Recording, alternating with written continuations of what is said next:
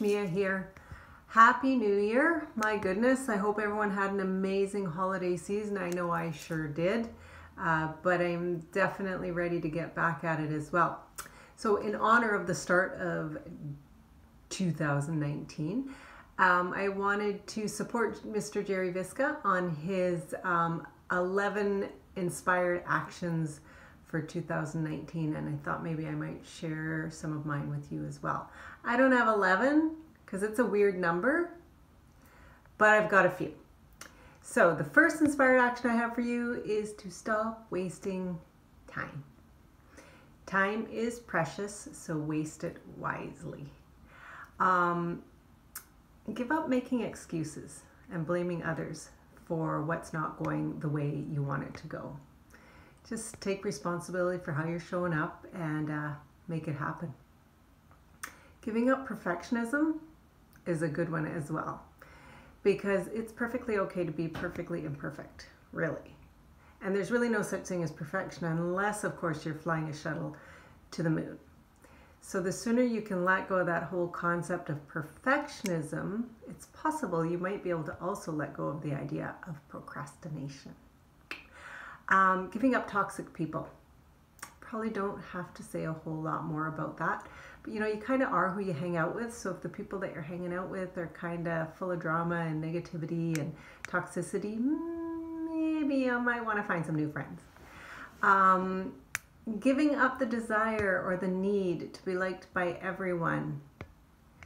You're good enough the way you are, so if they don't like you the way you are, screw them. Um, control. Giving up control is a tough one for a lot of people, but it's amazing how much space you free up in your brain when you let go of some of the stuff that you can't control.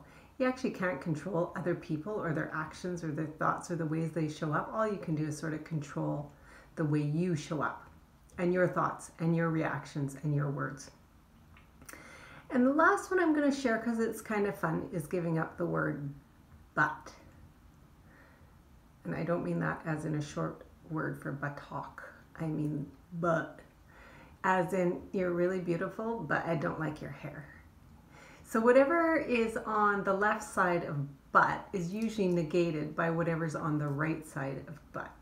So maybe try exchanging the word but for and and see how that shows up. In other words, you can have whatever's on the left side of but and whatever's on the right side of but. I think you're beautiful and I love your hair. Give it a try. See what happens. Anyways, that is my inspired action for now.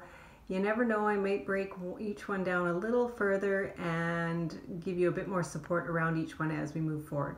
So maybe pick one, see how it shows up for you for the next week, and have fun doing it.